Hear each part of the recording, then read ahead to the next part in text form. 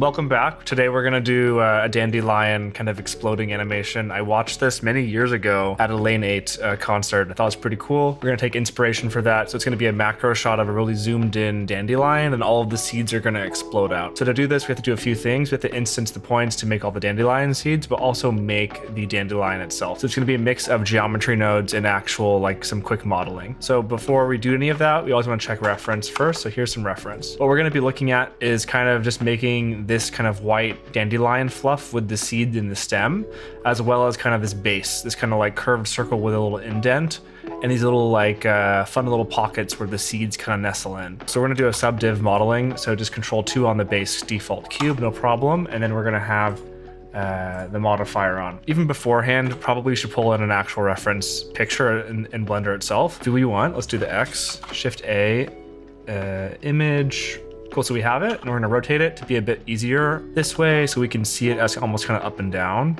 So we have this. X-ray mode, uh, Alt-Z, and then we're gonna just kind of scale in the sides. So uh, scale S, and then we're gonna do leave Z the same, so it's Shift Z, and we can pull them both in. Nice. So now we have kind of more of this seed shape, and then we're gonna look to the top, three to pull the face, we're gonna I to inset, and maybe pull actually more. So I push S to scale that, pull it in more. I'm gonna zoom in to make it easier to see. And we're gonna pull this one up. So G to grab, Z on the axis. Maybe inset it one more time.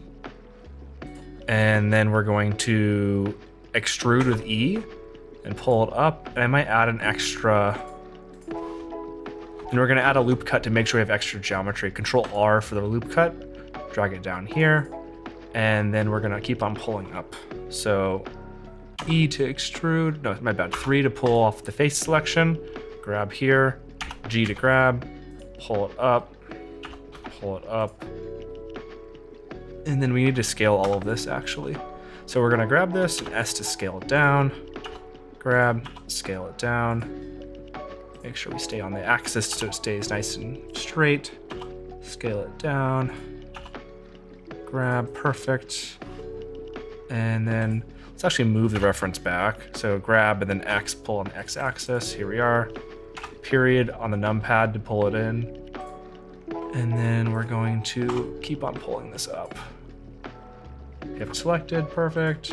Just gonna grab Z. And we're gonna do another loop cut to pull geometry up here. And at the very tip, I think we can just do a particle system to make all those little fluffy things. So Alt Z to turn off X-ray mode. How is it looking? It's looking about right. And then let's do the little geometry node system to pull the fluff. So we're gonna do, I guess, just a plane. It doesn't really matter. We're gonna call this fluff. And the fluff is gonna go into the cube, which we're gonna say seed base. Let's grab the fluff and this. M for new collection, and let's just say dandelion seed. So we stay a bit organized. The fluff is gonna go up here, grab Z, pull it up. Man, it, there we go. I was like, I didn't even see it because of the orientation. Cool. Add new modifier, geometry nodes, cool. New, click, go to geonodes. We really only need to have it just be a tiny little icosphere probably with the fluff. And then we can increase the radius. Oops, not the radius we can decrease the radius and we can increase the subdivisions. And then we really only want the top part of it. So what we're gonna do is we're gonna cut it in half by just pulling only the top parts of the faces. So we're gonna do a separate geometry. Separate geometry. Gonna pump this in. Let's do a join geometry so we can always make sure we know what we're seeing. And then it's gonna be here. And then the selection we want is going to be the positional data of the XYZ. So we're going to grab that and we'll do capture attribute. And it's going to be this. And I guess on the faces is all we really care about. So we can say face and we can do separate XYZ. Now we have the position and then we can view it and with the Z perfect. And just the top half. So we can do greater than, let's just do 0.001. That's fine. We get a nice little cap. That'll work nicely. So on this, we then we're gonna do um, points, mesh to points, mesh to points right here. Pull this in, mesh is gonna go there. We want it just on the faces, and then that will have all of those points just on top of that little cap. We don't need this anymore, it's just the cap. And then on this, we can then do curve line, instance on points, and then we're gonna do a curve line, and we instance all of those guys, and then they're gonna be just rotating out a little bit from the normal of that face, which we have right here. So we can do a capture attribute as well, right here, and then we're gonna say normal, grab it there, and then we're gonna pull this, and it's be a, align rotation to vector. We pull this normal here along the Z, and it pops out. There we are.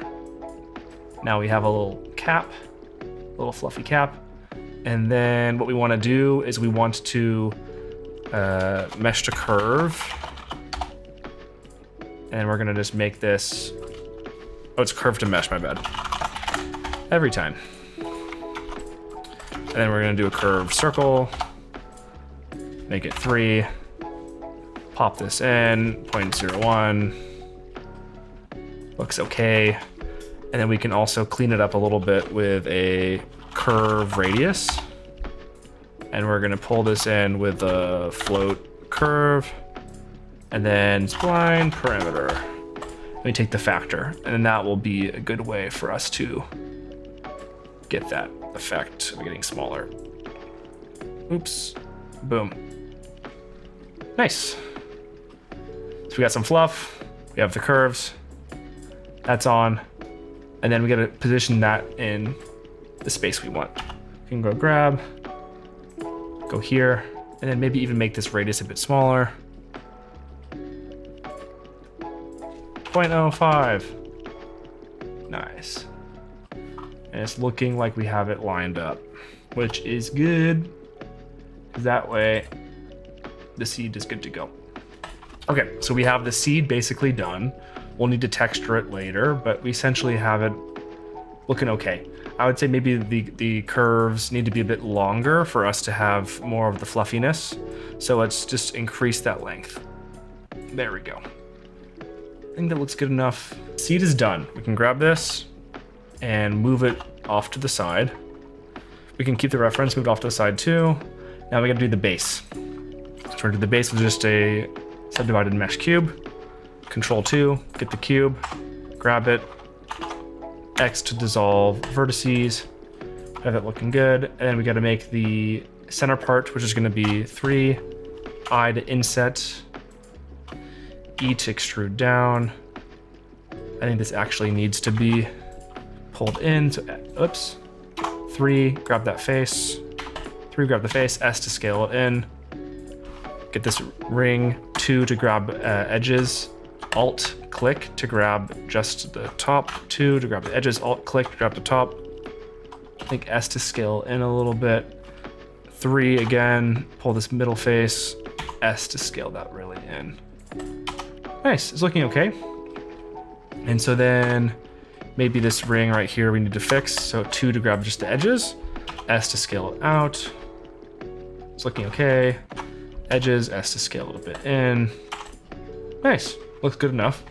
Now we can work on the seed system. So we have this right here, and then we're going to make these little divots. So we see in here we have these little divots where the seeds are gonna go. We gotta do that through extrusions inside the geometry node system. So we have the mesh we're working with, the base mesh for the geometry node system, and then we're going to do that with the extrusions like I was talking about. So we're gonna do extrude mesh. We get all of it, nice, very cool but we really want to only work with part of it. So let's first make this half the, the scale just so it's easier to see and do Alt Z to see a bit better. We only want to select probably from, I would say above here, and then we don't want the very, very center part. So we got to uh, change the selection with that. We can do that with same kind of idea with the positional data. So we can do gradient texture, and this is how we're going to get essentially kind of like uh, the center part.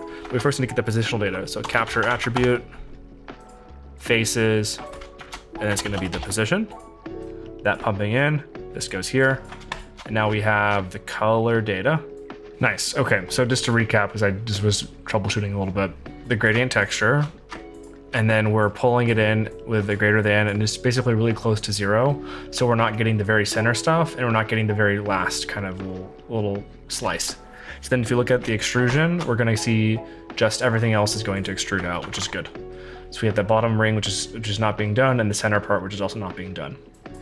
So then from here, what we can do is like this is basically our selection of what we care about. So we probably should group this to make it easier to see. So we're gonna grab this and we're just gonna call this Control J, and we're just gonna say like face selection, face selection. And then what we want to do from here is we want to also uh, instance points. So we can do mesh to points, and we have this mesh, and we have this selection of points, and it's on the faces. And we do a join geometry, and we should be able to see we only want the points there. So if we turn off this uh, extrude, we'll see the points right there. Good. Now what we want to do is we want to extrude uh, not at all and just take that top face of the extrusion, which we can see kind of like right here. Uh, that way we can extrude again internally down. So we're going to take this mesh and then the selection is just this part, this top faces. So we're extruding again, and we're gonna offset a little bit negative 0.2. And if we turn off the viewer, you'll see it's going in. What this is doing is basically making sure we have a little bit of an inset. So before we do this, actually we need to scale. So scale elements, we wanna scale elements, and it's just the same thing, just these faces. And we wanna scale them uh, by like 0.5, maybe a little bit less maybe like 0.2. Whoops. Like 20% in. So now we're kind of getting this little like uh, insetted border. And now if we do a, subdivision surface at the very end of this, we're gonna get kind of this little like pockety uh, rounded edges. So maybe even 0.9. And then, then we just pull it back a little bit and now we have all of these little points kind of nestled inside a little like tiny uh, spot for the seed to fit in. So then we have kind of the base view. This top part is going to be how we see the uh, like seed pockets. So I'll just call this Control J. I'll say seed pockets. And then now we can put inside the actual seeds themselves. Before we're able to pull in this kind of seed base, what we need to do is make sure we, we apply the geometry net system so we're able to, to come uh, apply all of real geometry.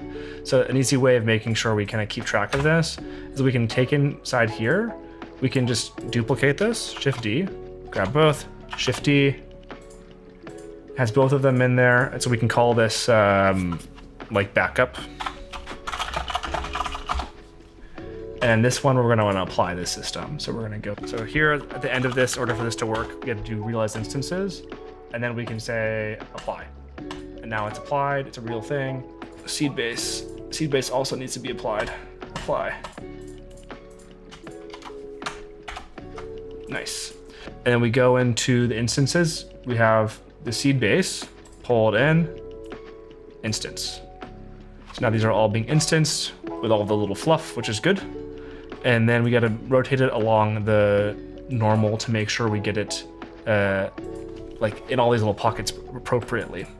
So we have that normal data back here. So we do another capture attribute and we do normal. And we do align rotation to vector. Pull this in, pull this in here. And now it should be all popping out. And this kind of looks like a little dandelion. So we're kind of like halfway done, maybe even more than halfway done, which is nice.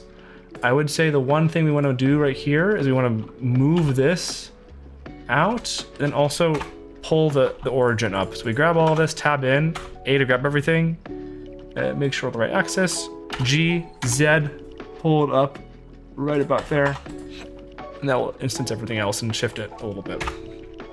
Great. So now we have this dandelion fluff looking pretty good. Uh, and then what we got to do is make the motion of it, of, of it exploding out. So we have it here. we have these instances. So that what that's going to be is just translating the instances through, through some noise textures. So translate instance. And then the main trick for this to make it an easy animation is to nest it inside a repeat zone. So we're gonna do a repeat zone. If I can type correctly, repeat zone. Fantastic. And then we put the instances, no, just kidding. This is gonna go inside here. This is going in here. This is going in here. This is being cut. And then what we care about is making sure that we're having the noise. We say noise texture. And then we can say vector math. We're adding that in. This is going to be the translation. We're going to subtract by 0.5. That way we offset from the just the general uh, normalized noise from what we're seeing. And then if we just were to increase iterations, we should see this slowly fluffing away. Uh, but we're not seeing it move fast enough, so we got to scale it. So if we do Shift D to duplicate it, we're going to go to scale, make this like five, and it should be moving much faster. So we're already getting all of these guys floating and flying away. Look how quick that was. Uh, but it's not moving fast enough, so I want to offset with some more noise and maybe even change the scale of the actual noise itself. And this actually shouldn't be local space, it should actually be the world space. This might actually now be fast enough for it to go away, I think. Are we getting double? We are getting double. This isn't needed. Goodbye. There we are.